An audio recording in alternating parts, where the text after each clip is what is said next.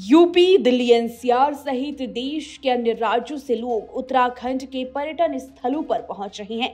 ऋषिकेश, हरिद्वार, मसूरी, नैनीताल पर्यटन स्थल भी पूरी तरह से पैक हैं। एक तरफ़ जहाँ पर्यटन स्थलों में पर्यटकों की आमद बढ़ रही है तो वहीं उनकी लापरवाही से कई हादसे भी हो रहे हैं। पर्यटक ऋषिकेश एवं हरिद्वार में गंगा नदी में नहाते वक्त एक बड़ी लापरवाही बरत रहे हैं। इसका अंजाम उनको भुगतना भी पड़ रहा है। जी हाँ फिर ऋषिकेश, लक्ष्मण झूला क्षेत्र में गंगा में नहाते हुए नोएडा के आठ पर्यटक एक साथ बह गए। जी हाँ इसमें से एक युवक और एक युवती गंगा के तेज बहाव में गायब हो गई, जबकि बाकी को बमुश्किल बाहर निकाला गया। दरअसल, हुआ कुछ ऐसा। थाना लक्ष्मण झूला के प्रभारी निरीक्षक रवि सैनी ने बताया, नोएडा से आठ लोगों का ग्रुप, जिसमें चाहत, अंकुरानंद, श्रेया, नमन, अनुप्रिया, साक्षी और नेहा और सुनील थे। ये लोग दो दिन पहले ही ऋषिकेश पहुँचे। इस बीच ये ग्रुप ऋषिकेश के स्वर्गाश्रम क्षेत्र में पहुँचा। यहाँ सभी लोग मस्तराम घाट पर गंगा नदी में नहाने उतर गए। नहाते समय गंगा में गहराई का अंदाज़ा नहीं होने से वो डूबने लगे और देखते ही देखते तेज लहरों के बीच एक युवती समेत दो पर्यटक गायब हो गए। पर्यटकों को डूबते देख राफ्टिंग गाइड उनको बचाने के लिए गंगा में कूद गए।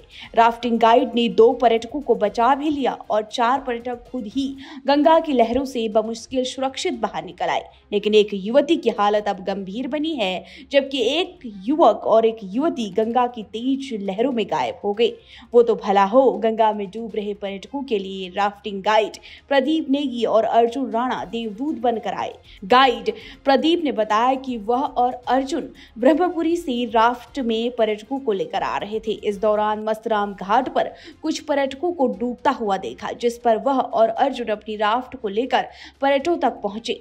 एक युवती समेत अन्य लोगों को अपनी राफ्ट में गंगा किनारे तक लाए। प्रदीप ने बताया कि युवती की स्थिति बेहद गंभीर है, जिसे अर्जुन की मदद से सीपीआर दी गई, लेकिन दो लोग गायब हैं। वहीं प्रदीप और अर्जुन शिवपुरी क्षेत्र में अभी तक गंगा में डूबने से कई लोगों को बचा चुके हैं। वहीं दूसरी तरफ़, सभी पर्यटकों के परिवार वालों को सूचना दे दी गई है। कुछ लोगों के परिजन पहुँच भी गए हैं। वहीं नेहा और सुनील जो डूबे थे, वो दोनों लापता हैं।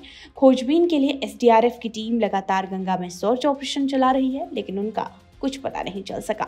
आपको बता दें, ये कोई पहला हादसा नहीं है जब ऐसा हुआ है। लगातार जब से पर्यटक सीज़न शुरू हुआ है, ऋषिकेश और हरिद्वार में लोग जाने गवाते जा रहे हैं। सैलानी ऋषिकेश आकर ज़्यादा एक्साइटेड हो रहे हैं। इसी कारण बिना गंगा की गहराई या बहाव की जानकारी लिए ही कहीं पर भी कूद जाते हैं, जिसकी वजह से उन्हें अपनी जान देकर कीमत चुकानी पड़ रही है। तो ध्यान दें, गंगा में नहाने के लिए वहीं पर उतरे जहाँ पर रेलिंग लगी हो, या लोगों से पता कर लें कि कहाँ पर नहाना चाहिए। एक छोटी सी लापरवाही एक बड़े हादसे को दावत दे सकती है।